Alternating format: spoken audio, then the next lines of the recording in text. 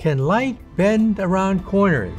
If yes or no, give one reason. Yes, light can bend around corners. In fact, that's why we have glass inside your glasses. When light goes into glass, it slows down slightly. Because it slows down, it deviates from a straight line. And that's why we have your glasses, telescopes, microscopes, because glass bends light. Also, gravity can bend light, as Einstein showed us, and we can actually see the bending of light as it goes around a galaxy. Then the next question is, can you bend light completely around an object so the object becomes invisible? And the answer is yes.